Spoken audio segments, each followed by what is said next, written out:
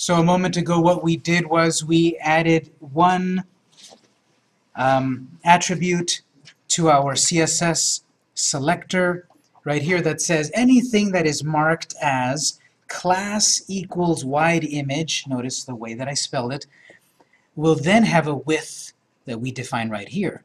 So if we set other images to be class equals wide image, then all of those will obey this selector. Um, we are going to add a little bit more customization to this, to that particular picture. And I'm going to show you this trick with Notepad. I've got at the top tabs, just like a web browser. I can switch to the index tab and the CSS tab, but I'd like to actually see them both at once. I'd like to see the CSS rules and then the HTML code. So here's the trick. Uh, if you right-click the tab of Codiqa CSS, right-click it, you get some options. The one you want to select is Move to Other View at the bottom. That's the fancy way of it saying put them in multiple windows, multiple columns. To put it back, you right-click it again and select Move to Other View. So there's basically two views. I don't think you can make like three columns unless you've got like a big monitor to work with. I think it's only those two views, left and right. Um, but anyway, move to other view, and then now you can look at your HTML on one side and your CSS on the other.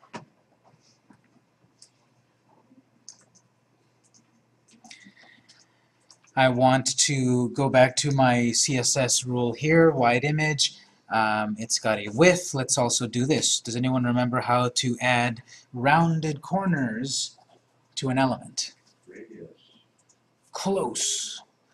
Does anyone remember what the full code is? Border dash radius, colon. And then if we have one value, let's say 5px, semicolon, that will apply that to the four corners of my image. My image has four corners. So with it, with adding one value there, it applies to the four.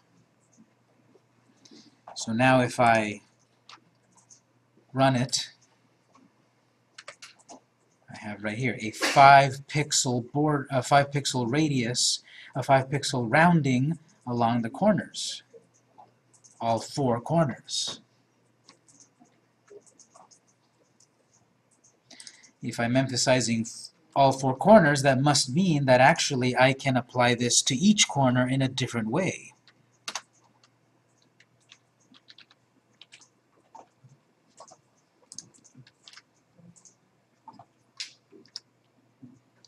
So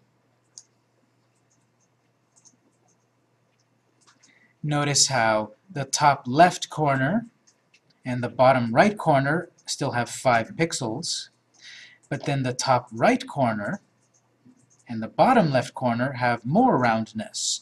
The way I did that was, look what I did here, 5px space 25px.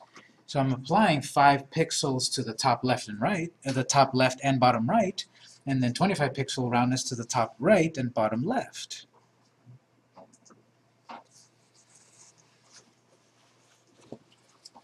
You didn't have to go back and do the class first? We don't have to edit, we don't have to edit the class on the HTML, but what we're editing is the class in the CSS file, yes.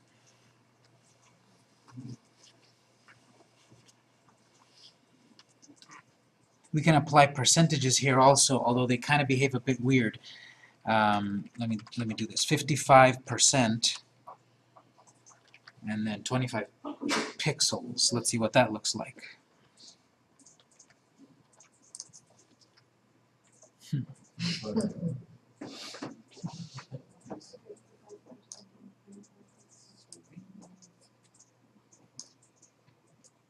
So that would have been something in the old days that I would design in Photoshop.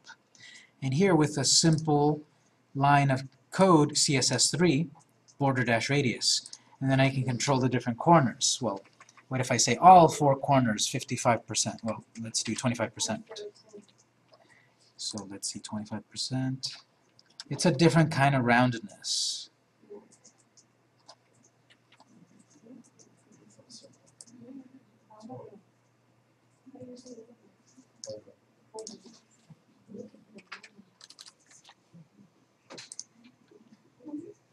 I can put a hundred percent roundness, and now that that square picture is totally round.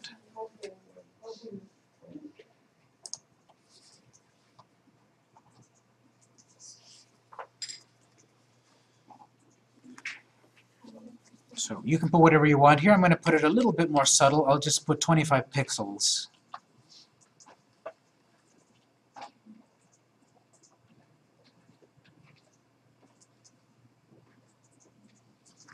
I'm also going to add a um,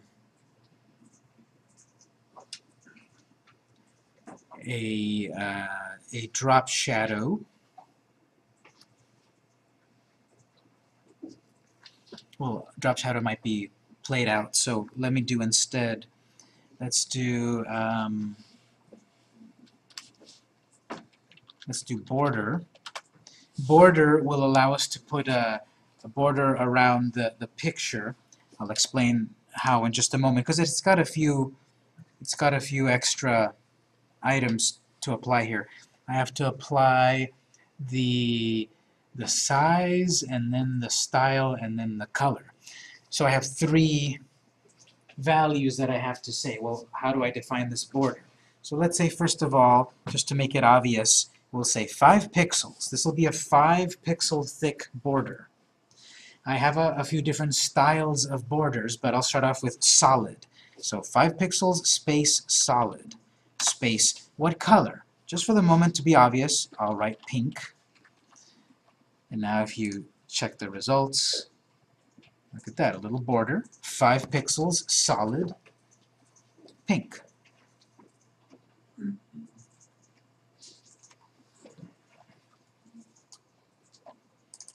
We have solid, we have dashed. We can do a dashed style. That dashed lines around it, kind of like maybe a coupon.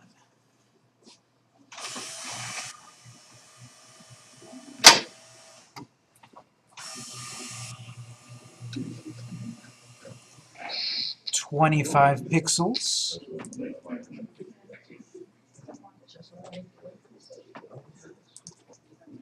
I put 25 pixels and notice how big and interesting now that looks.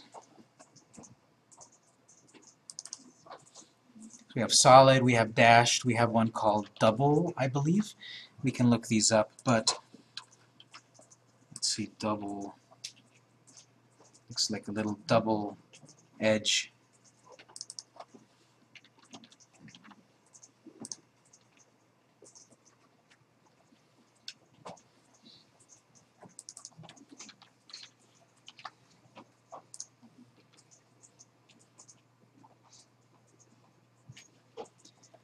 So um, I'm adding here a border to that element via CSS. Uh, border is uh, is is older CSS1 standard. Uh, border radius is CSS3. So that might not work on older browsers. So actually you can make yourself a note here. Remember comments. I'm going to add a comment at the end of that line of border radius just to say CSS3 only.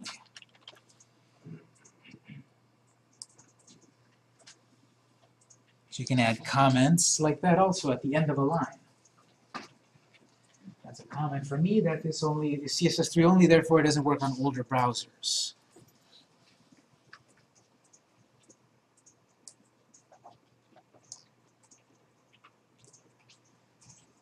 I'm adding this border and it's got these three parameters, a size, a style of the border, and then a color.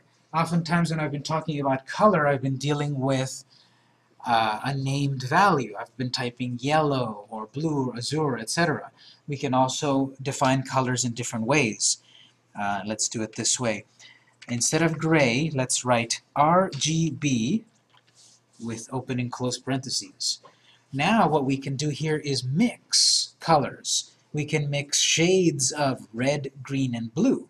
If you took any art classes, graphic design classes, we talk about color theory in there, that if you mix like a red and a green, you get another color.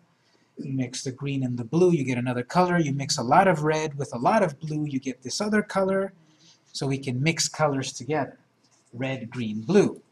So the way this works is between 0 and 255. 0 means none of this color. 255 means all of this color. So if we write 255, comma, 0, comma, 0, that means this color is completely red. There's no green, there's no blue.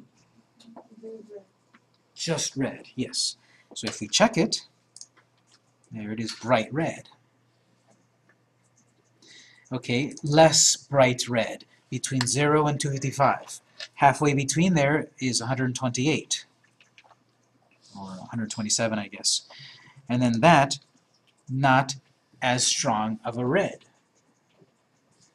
Half of that, 64. An even darker version of red. It's almost black. It looks black on the projector, but on my screen I see I see it's still reddish.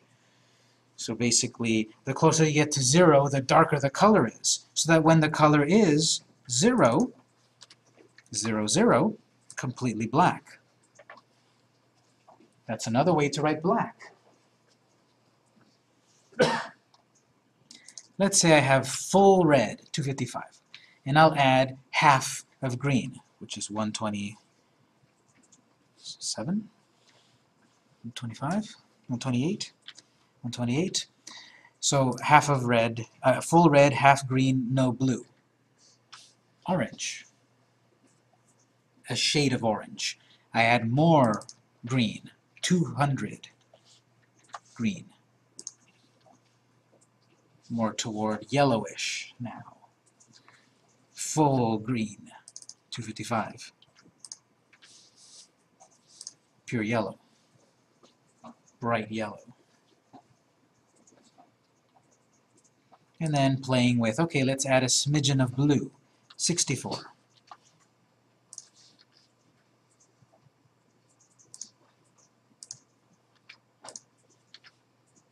Not very noticeable change. Actually, I'm, it's making it lighter because now as you start to increase, just like we decreased all the values down to zero, and we got black, now if we increase all the values to the maximum, what's the opposite of black? white, notice that's getting brighter and brighter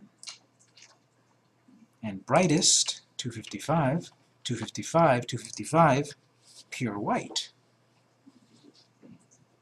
So all of them down to zero, pure black, all of them up to 255, pure white.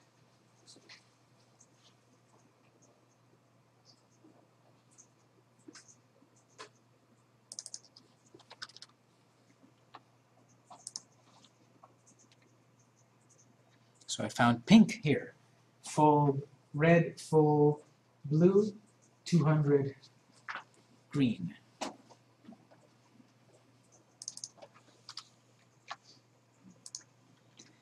Now this might uh, not be very efficient because then you're trying to mix the right color and you're going to spend time mixing a color where you can just type orange. But what's useful, what's useful about doing it this way is we can add one more element here. We can add transparency. Maybe I want orange, but a little bit transparent. We cannot do that by simply typing orange. We have to do it this way. Right now we're dealing with red, green, blue. We're, now we're going to deal with red, green, blue, alpha. If you change it to RGBA, you've got now a fourth property, which is alpha, which means transparency. So the fourth value over here, 1, means 100% visible. So that should look the same. If we put 0.5, 50% visible, look at that, I can see through it to the color behind it, which is a gray. 0.25, now it's 25% um, visible, so I'm seeing through it even more. And then all the way down to 0, invisible. There is still a border there, it's just that I can't see it.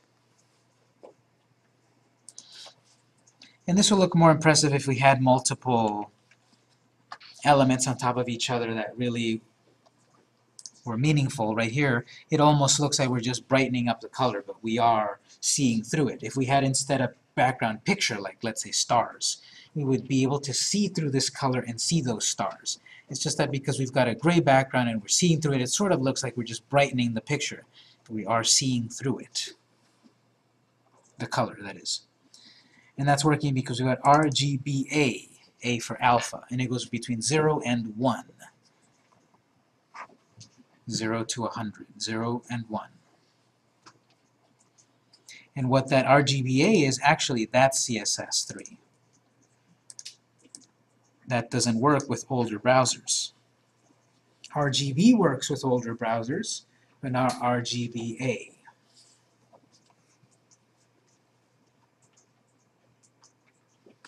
So I'll make a note.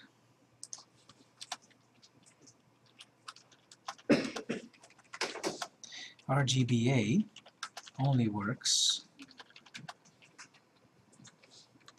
with modern browsers.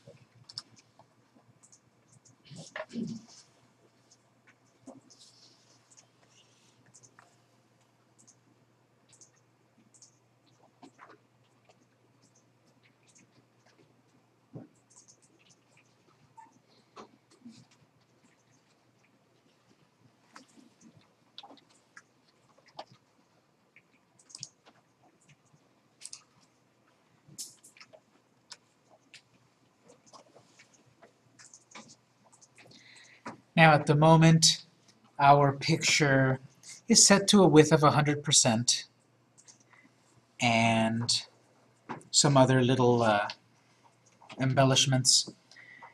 And so the picture grows and shrinks to the size of the monitor or the, or the mobile device. And that might be an effect that, that I like.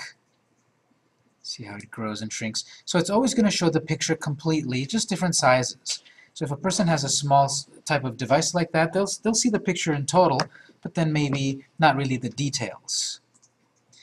We're going to do a different, we're going to take a slightly different approach, which you may or may not want to do ultimately, but I'll show you both ways. What I'm going to do is instead of it showing the picture completely, growing and shrinking, what I want it to do is it's going to show more or less of the picture as the size of the screen increases.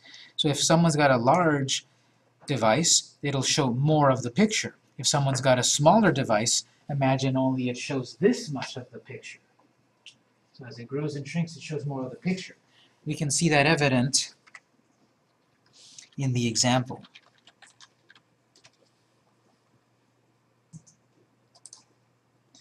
If a person has a size that monitor that or device that big, notice how much you see. You see the girl here and then the back of, of this girl's head.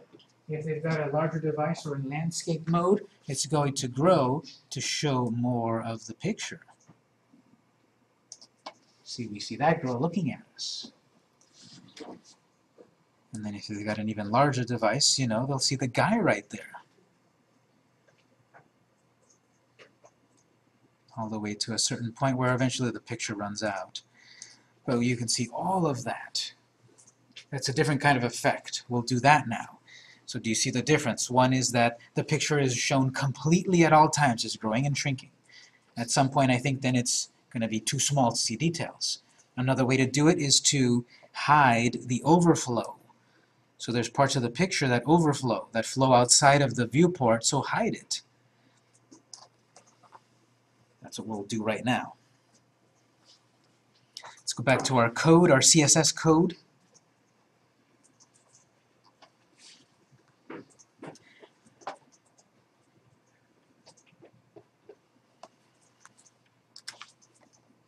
The next line after border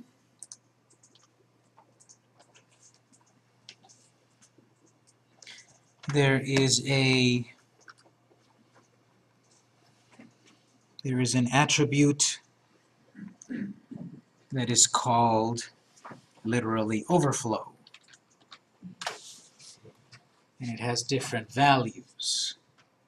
The value that we want is hidden. So notice, CSS can define widths and sizes. It can define radii, it can define borders and colors, and other kinds of concepts. We can look all of the rules up, of course, and all of the uh, attributes over at W3 Schools, for example. But overflow colon hidden, what this would do is anything that goes outside of the boundaries will be hidden. However, if you save it and run it,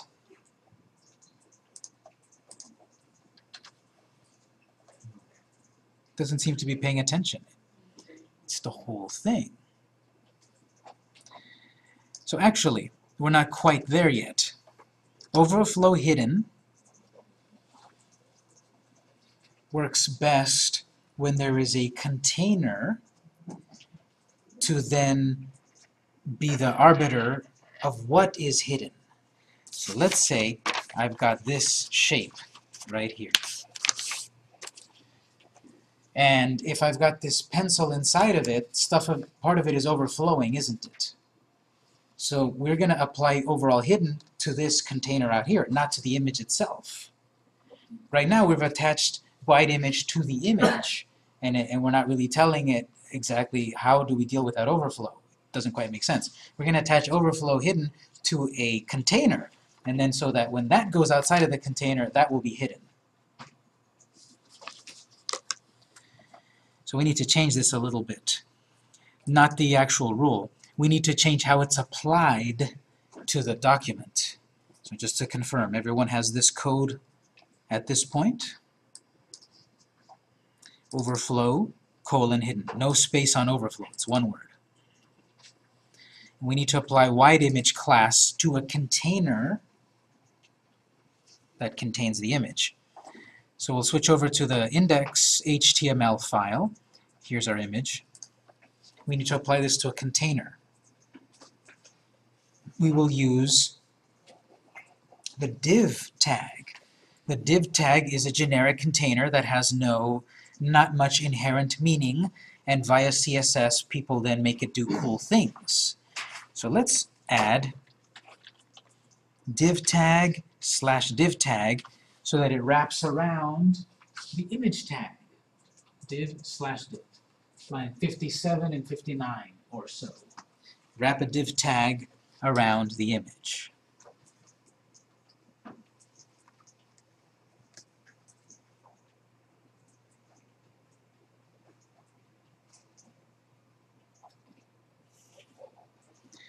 This is a generic div, and therefore if we save and run it, nothing happens yet, because it doesn't know to use that rule.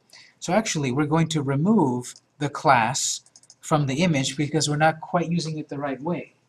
We're going to remove it and actually add it to the div container.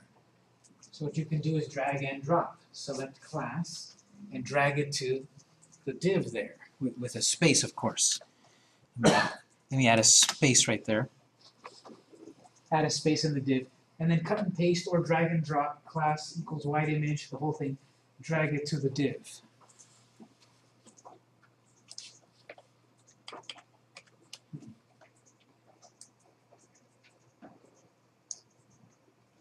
So now I'm attaching all of the properties that I defined earlier to a container instead of the image.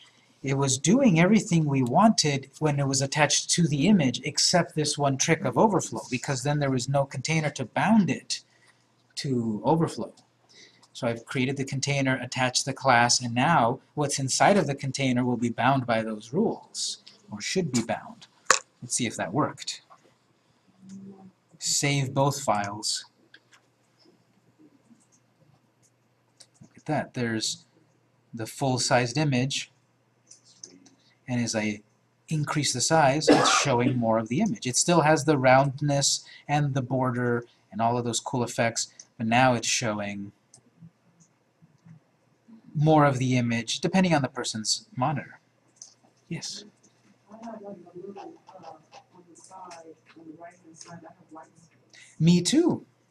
Look at that. I've got some weird, some weird edge. I'll deal, we'll deal with that in just a moment. But good eye there. Do you guys see that too? There's an, there's a weird empty space there somewhere? Um, this is what I'm saying about CSS is hard. Now, this is not obviously tragic, but it is if you're a perfectionist, you know, web designer, which a lot of us are. And so um, I want to fix that.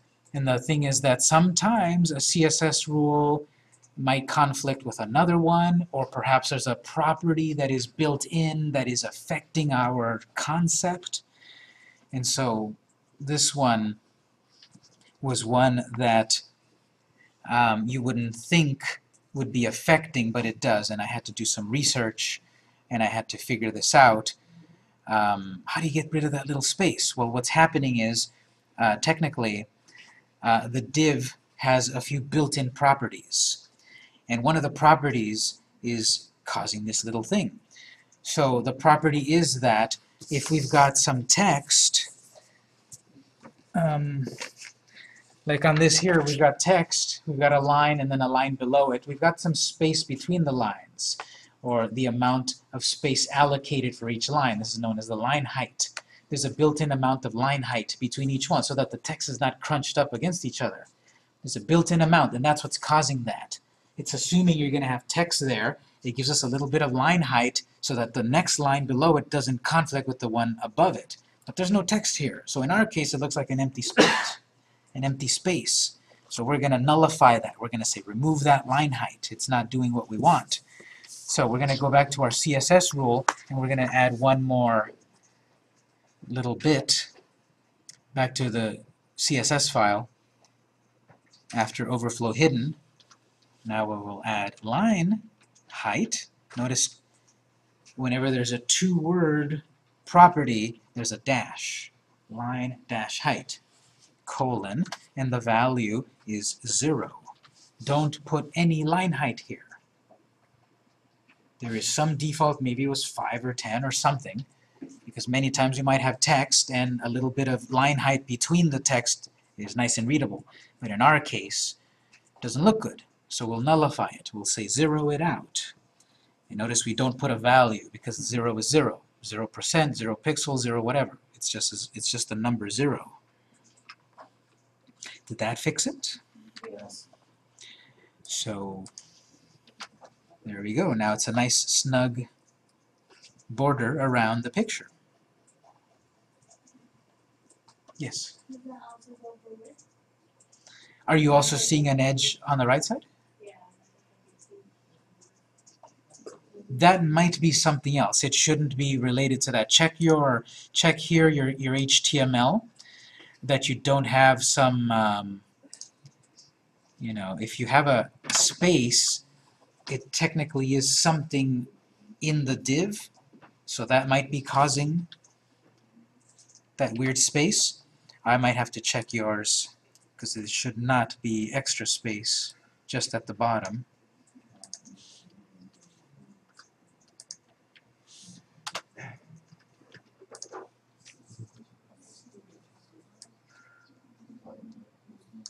Now, do you mean do you mean if you're maximized like this and then at the end you see a space? Okay, let me show you let me show you this. You mean like that? The picture ran out. The picture ran out. So if my screen is that big, I have no more picture to show, so there's a big empty gap. And notice if I if I am within the size of the picture, like I said, you, you it's larger, larger, larger. At a certain point, the picture runs out, and I stopped. But if I keep going, well, there's no more picture, so there's a gap. So the answer to that is get a bigger picture. Actually, I have a question. Yes. Is there a way for you to position the picture in such a way where you get it to where you want to be? If you- if you're like really anal about where you want the picture to be? There is because maybe you want the maybe you want that part of the picture to be the most prominent instead of center. I have to look it up off the top of my head. I'm forgetting what it is, but there is a way to align it top, bottom, left, right, wherever we want. I have to look it up. Or does anyone know it off the top of your heads? Align a picture? We have to look it up.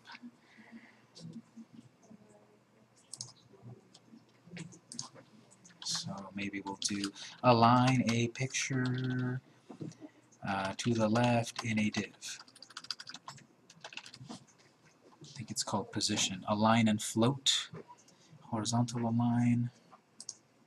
So there'll be an answer somewhere.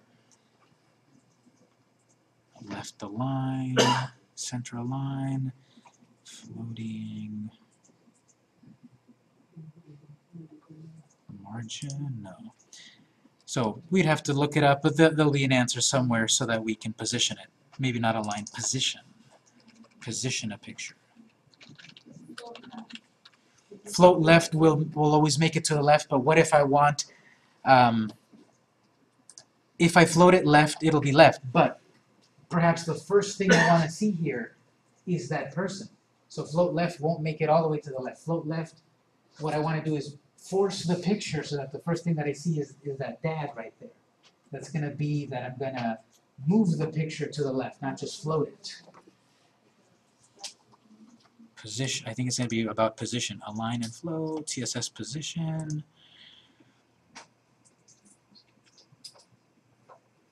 Like that, maybe. Fixed position, position fixed, top right.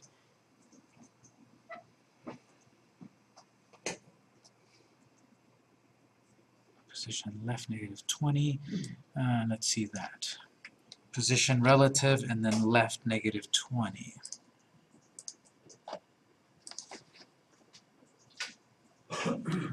Probably actually we'd have to apply it to the image itself, not to the container. See what happens.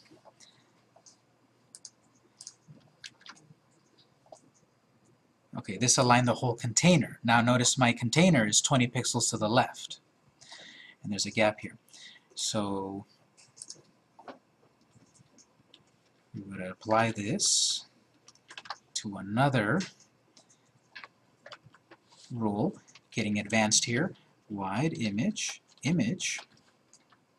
Here what I'm saying is an image inside of the wide image div, there is a space there, an image inside of the wide image div, move it to the left 20, let's be obvious, 200 pixels. You see it's more advanced. Now I'm saying an element inside of an element. I've got an image inside of a div called wide image. So now we're saying that image's position is relative to the other elements, and specifically its left edge will be moved 200 pixels to the left.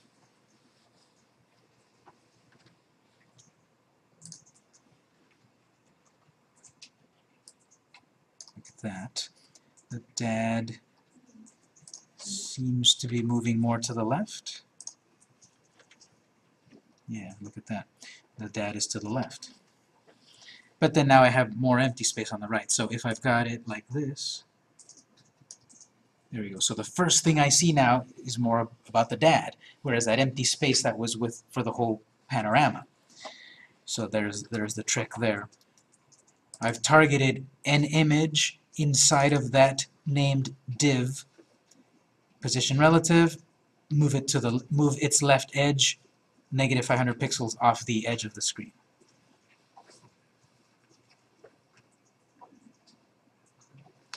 Maybe we should write a comment here. That would be useful. So this is basically uh, select or target an image inside of the div with class equals wide image. So CSS is very powerful, very cool, and it could be very difficult to work with. So in my company we work with a lot of people's websites, oftentimes WordPress, uh, and oftentimes we have to go in and write custom code. So there's so many times where I've had to reverse engineer a theme and figure out, okay, this particular element needs to be edited like this, and then we need to write some code for it. We'll do some of that a little bit later because we will want to customize our project even more, and so we'll often have to do something like this. How did I know to do, to do, to do this? Experience. And I'll give you that experience as we proceed in the class.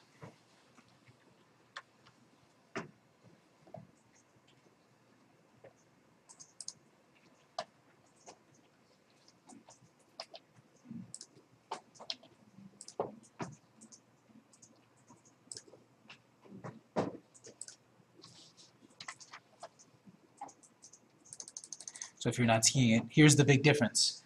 With, without editing that relative position, the first thing we see is this lady right here. And with adding the negative 200, well now I see this as the first thing.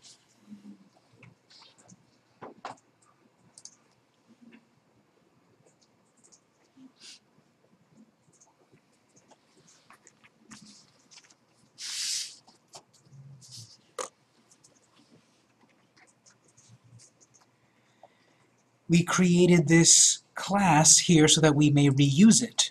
So what we'll do is, I asked you to download five pictures. Let's add another one of those pictures to a different screen and then apply this rule so that it also looks consistent like the first screen. So in my folder, I have a couple of images. I have the library image and one of students. I also now want to show those students on another screen. And I want it to behave like my home screen's style. So I'm going to find, before you go further, I want to find where in my computer's screen I want to add one picture.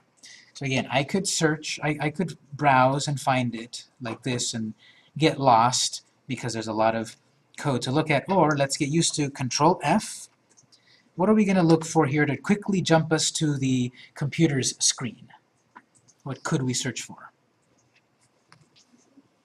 PC. I might have used the word PC in other parts. I might have said on the home page, take our classes and learn how to use your PC. Okay, that's not perhaps specific enough. What's very specific is I know we wrote ID equals PC, and that only exists in one place throughout the code. So find that. There we go, line 149. So this just takes a little getting used to. Okay, we're going to search. Maybe we search too generically. We want to search specifically. So I have to think back, what did I write in my document that is specific to the place I'm trying to find? And I know only one place in my project does that, do I have ID equals PC.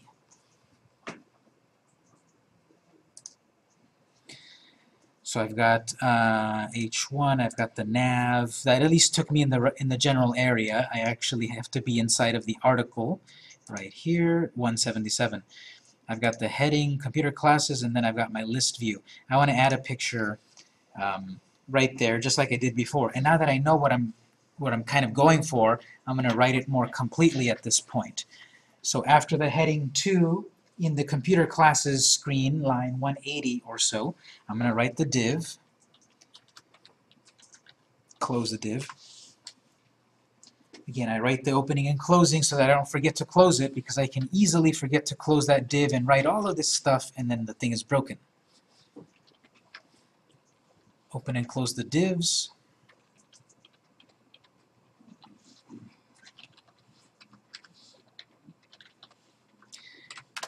Div needs a class, wide image. It's a class, so I can reuse it. Inside of the div, I need an image. Image has is a single self-closing tag. It has properties, source. I'll fill that in in a moment because I need to look up its file name.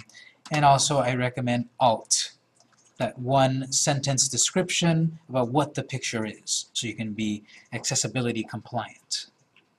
In my case, my picture is a classroom of students. Whatever yours is, write that. And it is and it should be written like a normal sentence. Capital letters, proper grammar, punctuation if you want it. And now on my source, you need to get your file name.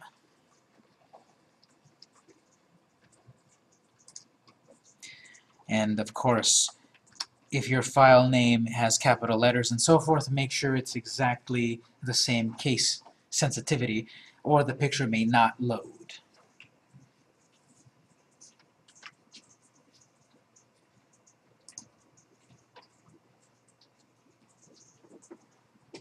So I've got the class that defines how the picture behaves, and the actual picture and the alt attribute. So now I'll save that. I'll go to my computer classes screen, and now I should see that picture with all of the properties, all of the values of the wide image class. This is the point of using a CSS file. It applies then automatically to all my all my pictures. What's that? The name of the folder? The name of the folder, good point, yes. It's in a folder called images. Easy to forget. So in the folder of images is your image, so don't forget that.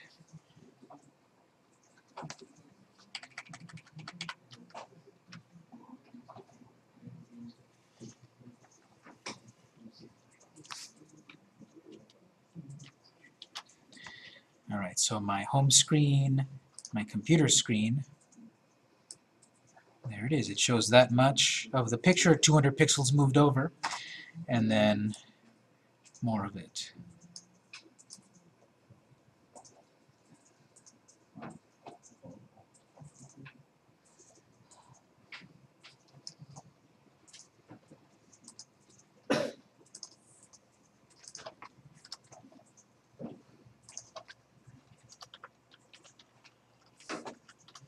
Because it's a class and because it's applied to, um,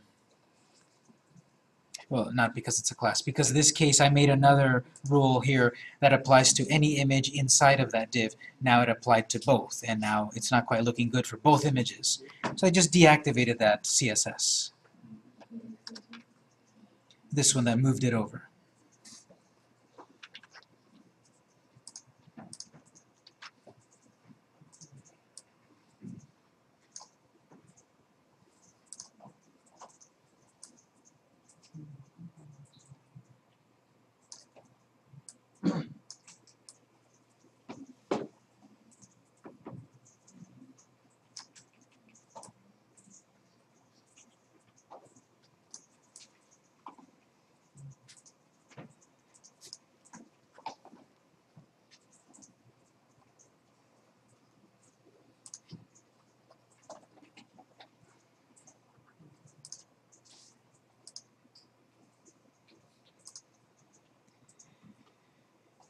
So we spent most of the day talking about CSS. That's still just the tip of the iceberg. We've seen the importance of uh, adding our CSS rules inside of a CSS file so that then it's more global. Maybe we had other uh, other files. We will have another file later. We've got right now index.html and later on when we add the map we will have map.html. And so if we had made these rules inline, they would only apply to the index file. And we'd have to copy and paste them to the map file, putting them in a CSS file, and then simply having a line at the top of both documents that say link, style sheet, that Codiqa file, then both of those files, index and map, will inherit every one of these rules and apply to both files, be consistent. And we've seen we can control elements in a variety of ways. There's still, of course, many properties and values, but uh, we can look those up as necessary throughout the course. You can always take a, a preview and look at look the, look them up over at w3schools.com. You'll find a variety of websites that have a list of all possible CSS rules. But as I said, I recommend w3schools.com and you've got learn CSS and then also somewhere where did I see it references at the top right references um, CSS 1, 2, and 3 references. It'll just list every possible CSS um, rule.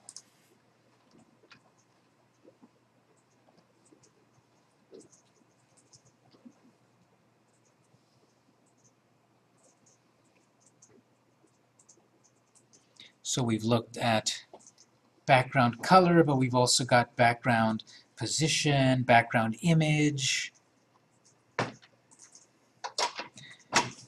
All of that is in the reference screen at w3schools.com.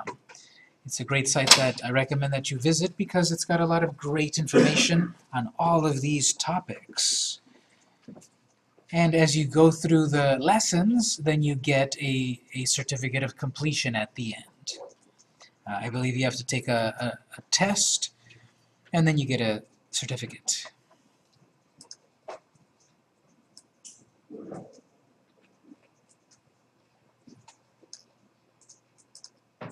So we're going to main the, end the main lecture in just a moment, but do we have any general questions? Yes.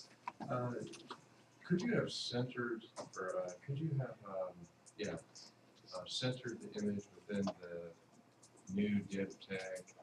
So the border would have corresponded to it, no matter how it was sized, or what the size of the image was, to at least uh, center that uh, dead white space all around the image? Would that have worked?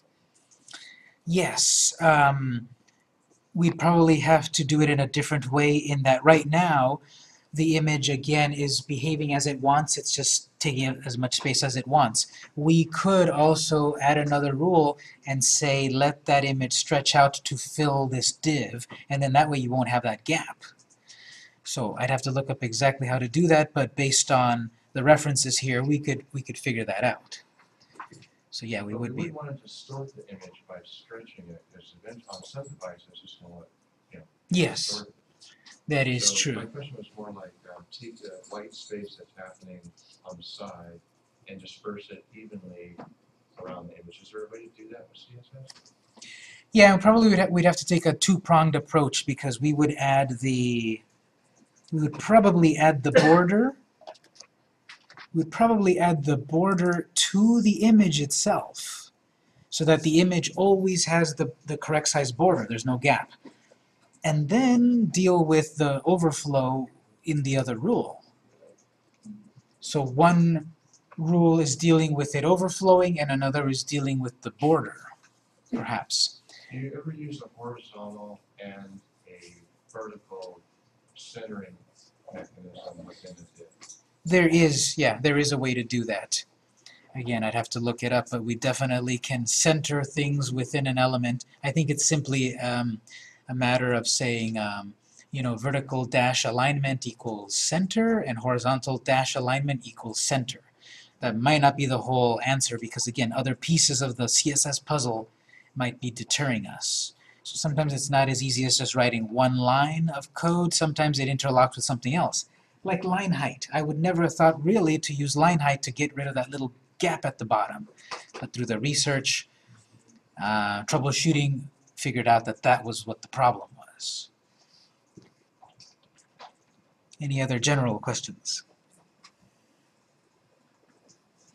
All right, I'm going to put my version of the code at this point in the in the folder. We're going to wrap up and have some lab time to 9:30.